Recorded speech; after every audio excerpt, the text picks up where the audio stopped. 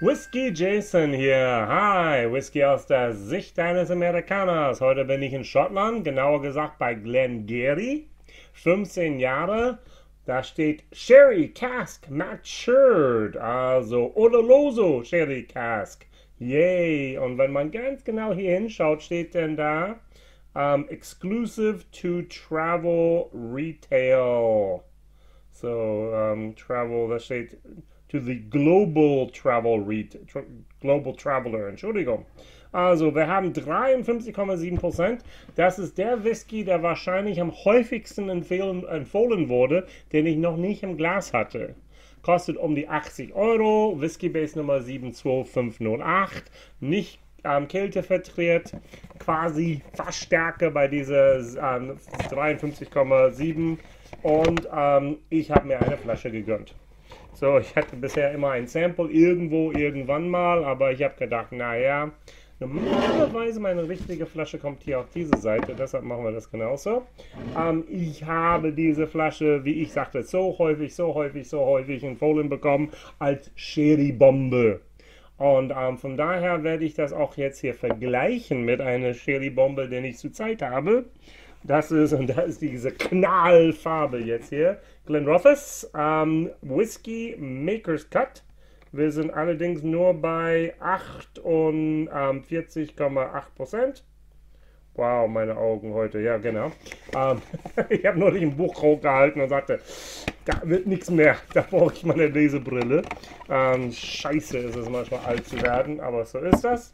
Also, ähm, und wenn man zu eitel ist, die hier aufzusetzen. So, für alle, die noch jung sind, genieße es. Ähm, denn jeder wird irgendwann alt. Also, so, ähm, die Verpackung sieht doof aus. Die Flasche kann man hier lassen. Ähm, ja, Glenn Rothes und ich, wir sind keine dicke, dicke Freunde bisher. Ähm, manches davon ist gut. Allerdings, diese Flasche hat mir schon angetan, muss ich schon sagen. Die ist schon cool. Und jedes Mal, wenn ich hier ausschenke, schenke ich mir viel zu viel. Diese Rundung ist ein bisschen, fühlt sich für mich wie ein Blantons Gold an. Und ich habe irgendwie das Gefühl noch nicht, wie ich hier ein CL rein tue. Ich tue immer grundsätzlich zwei CL da rein. So, ähm, kostet auch ein bisschen weniger. Uh, das ist eine gute Frage. Was kostet die denn da? So, äh, Glenn Rothes äh, kostet äh, 63 Euro und der, der Glengarry kostet hier 78, äh, 50, so wie ich sagte, knapp 80 Euro. So, wir machen den auch noch hier auf, also Uncorking live hier vor der Kamera. Du, du, du, du, du. So, ein bisschen schwach muss ich sagen, von Plupp, aber so ist das. Ähm, ich freue mich darauf. Ich hoffe, dass ich tatsächlich hier eine tolle ähm, Flasche hier äh, gefunden habe. Glengarry hat immer ein bisschen ein Haufe Rauch für mich. Das ist schon cool. Also hier haben wir diese dezente, edlen, braun, beigefarben. Dann haben wir Disco-Farben. Boom, boom, boom. Rot mit schwarz. Sieht wie im Fußballverein aus. Den man einfach mal... Und und das zusammen in der Kiste hier rein, das sieht echt ähm, sogar Feuerwehrrot, Ferrari-Rot, wie auch immer das so ist. So, meine Nase. Uh, nice. Also und hier. Oh, also hier ist eine vanillige, süße Sherry aufgese auf, wie eine aufgespritzte Sherry-Note versteht, wer, schon länger dabei ist, versteht genau, was ich damit meine. Es ist nicht eine alte, schwere Sherry, ja, sondern das war eine, ähm, wie heißt sie nochmal, die nicht die, die, die, nicht Season, sondern ich glaube Finished oder irgendwas. Die tun einfach ein bisschen Sherry rein, rollen die, sagen wir, fünfmal rum, lassen ein halbes Jahr oder fünf Wochen da sitzen und dann tun sie nachher Whisky rein. Da war, wurde noch nie Sherry drin gereift und man versucht so schnell wie möglich da eine tolle maximale Sherry-Note rauszukriegen. Kriege ich bei Tamdu manchmal übrigens auch. Hier drüben bei der Glengarry, ah, da habe ich eine, eine dunkle Note, eine, Ho eine Waldhonignote. Der Sherry ist nicht unbedingt super präsent, sondern das ist eine, eine, eine, eine, eine Kieferwald, in dem ich ein bisschen bin, mit ein Sherry, eine dunkle, eher, ja genau, Oloroso Sherry-Note dabei. Mm, nice. Wie ich schon sagte, 53,7 gegenüber 48,8. Beide krumme Zahlen. Wer weiß wieso, warum, weshalb. Ich glaube, ich habe schon gesagt, Whiskey Base Nummer 72508. Falls noch nicht, dann ja. Also, ähm, das ist schon immer ein bisschen Understatement. Da ich sehe jemanden, der, ähm, so, das ist der Professor, der sein Tweed-Jacket anhat. Das ist einfach mal richtig, richtig ein bisschen edel hier. Ähm, ist eine nette, nette Verpackung. Ah, es 1700 ist immer wieder drauf mit dem Gründungsjahr. Das muss 1797. Ja, genau. Hier oben, irgendwo war es immer auf der Packung dann da drauf. 15 Jahre alt. Alles matured in the finest Oroloso Sherry. Ju, warum nicht? Also, ähm, auch hier der Bilder, die, ich weiß es nicht, das wie auch das hier ist schwer deutlich zu machen. Also das ist, das hat sich nicht so schön auf diese Beige abbilden lassen. Ich habe das Zeit gegeben. Es hat jetzt hier ein bisschen Zeit im Glas gehabt. Nochmal.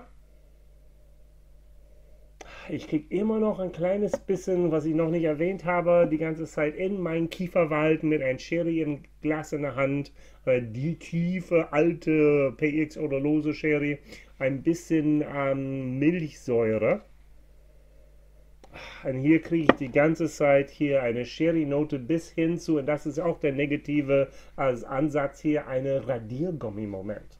Also ja, und dann, ja, also hier ein bisschen künstlich, ein bisschen artificial, ein bisschen ähm, nicht echt. Und hier habe ich ein kleines bisschen diese Säure-Moment, wo ich sage, oh, auch nicht unbedingt perfekt gemacht.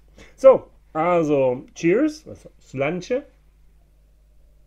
Also ihr dürft immer auch Slanchevar sagen. Für mich würde es sich echt manchmal einfach mal interessieren, wie viele Leute trinken mit. Meine Vermutung ist, es, es liegt bei ungefähr 3%. ich nenne einfach eine Zahl von 3%, die tatsächlich hier mittrinken mit diesem Whisky. Dass du den hier hast, weil es nicht angegeben wurde im Titel, bezweifle ich sehr stark. Ich glaube, es gibt nochmal 10 bis 15 Prozent, die irgendetwas mittrinken, wahrscheinlich. Aber ich glaube schon 80 bis 85, wenn nicht 90 Prozent schauen meine Videos einfach so an, ohne ein Glas Whisky ähm, vor sich zu haben. Ist nicht schlimm, ist alles erlaubt.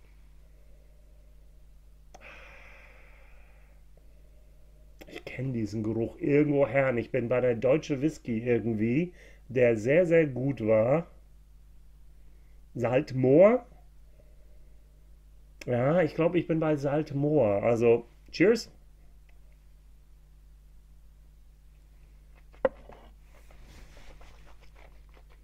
Mhm.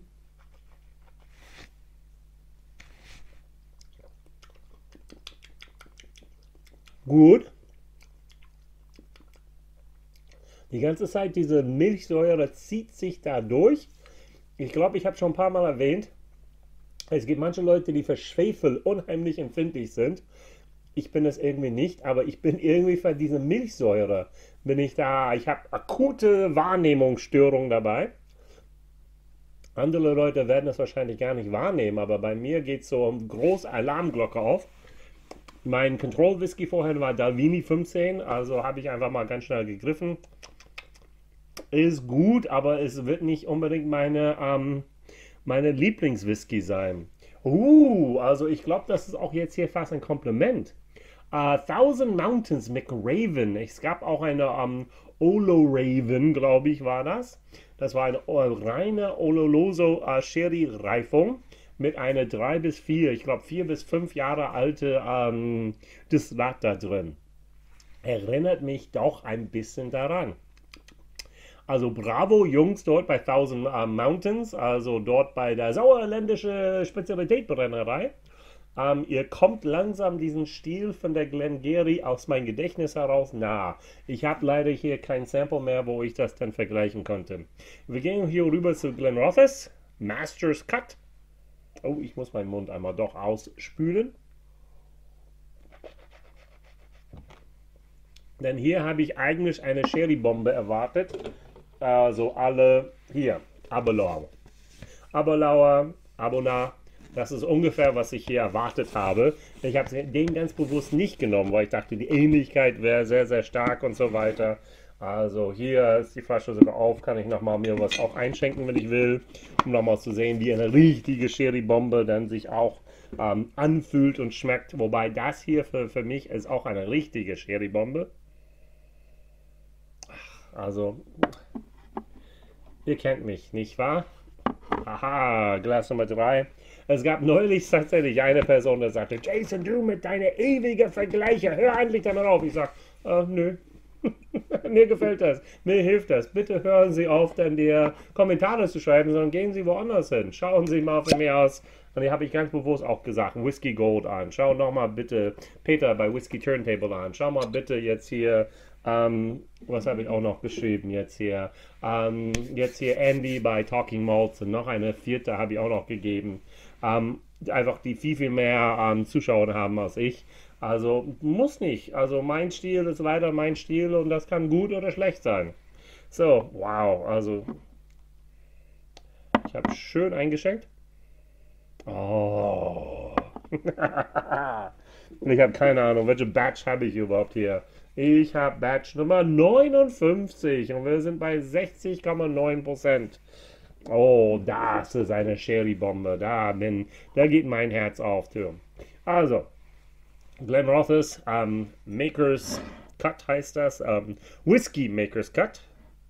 Auch ein No-Age-Statement muss man einfach so laut und ähm, ähm, klar sagen. Also Creamy, Vanille, Orange, Peel und Nutmeg. Nutmeg ist für uns hier Nelken. Also.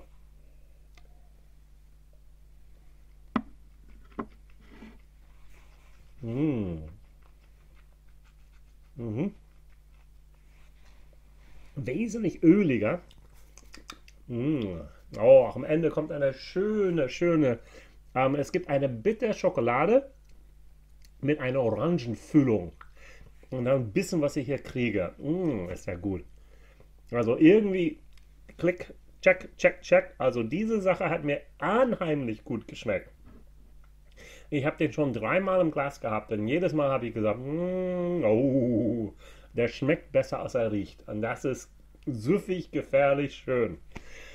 Okay, eigentlich sollte ich hier bei der Glengarry hier sein, denn ich habe bestimmt viele, viele Fans hiervon bisher ein bisschen, nicht verärgert, ein bisschen enttäuscht, weil ich mich so wenig dem gewidmet habe. Ähm, es spricht mir nicht so zu. Ich werde keine weitere Flasche kaufen. Ja, ich habe auch nie ein Sample, ein richtig gutes Sample hier gehabt davon, so dass ich ein Video drehen konnte. Aber jetzt habe ich die Flasche und dachte, jetzt so viele Leute haben geschwärmt und dachte auch, äh, naja, aber so ist das manchmal. Mein Geschmack ist nicht dein Geschmack und dein Geschmack ist nicht der, der von Bob, John oder Steve, um einfach um Namen jetzt hier zu nennen. Äh, aber no.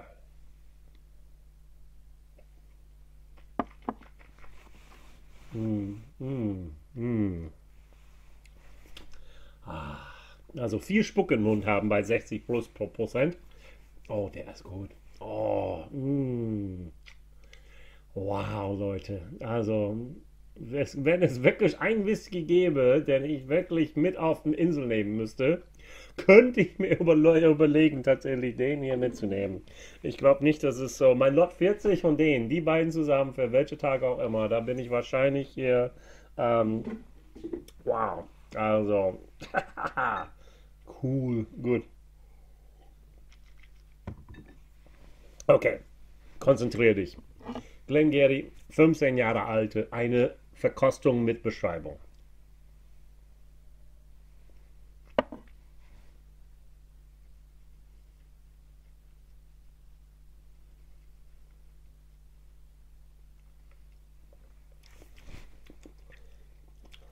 Mmh. Der hat was. Der ist auf jeden Fall vielschichtig. Hier Sherry pur. Hier Schokolade mit Orange. Hier komplex.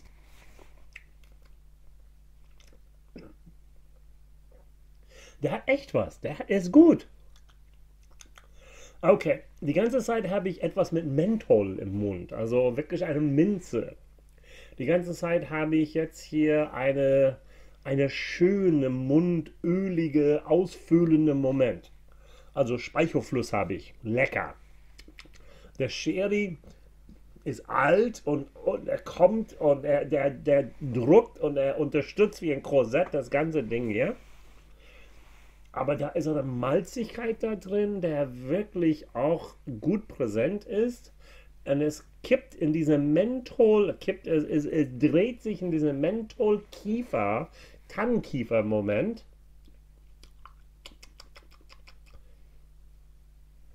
Ja, der hat was. Der hat echt was. Also, das ist nicht eine, also, das ist kein Kindergarten-Whisky. Also, das ist hier ähm, für möchte gerne Kenner.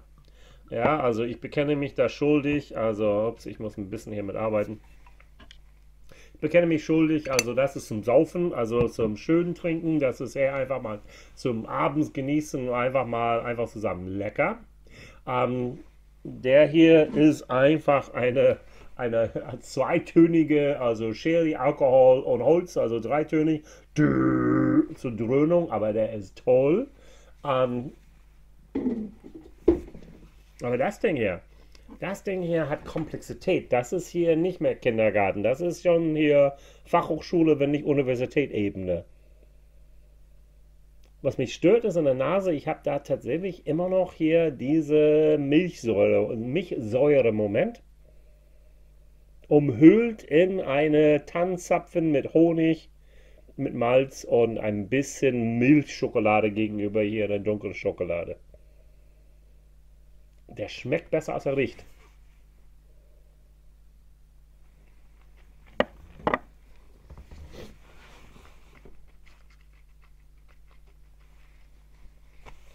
53,7% gehen so leicht über die Zunge. Super, bravo. 15 Jahre alt, bravo. Oh Mann, auch im Hinten, da ist ein kleines bisschen Barrel Char, ein bisschen Rauch. Nicht, nicht Rauch, sondern ein kleines Rauch von irgendwas.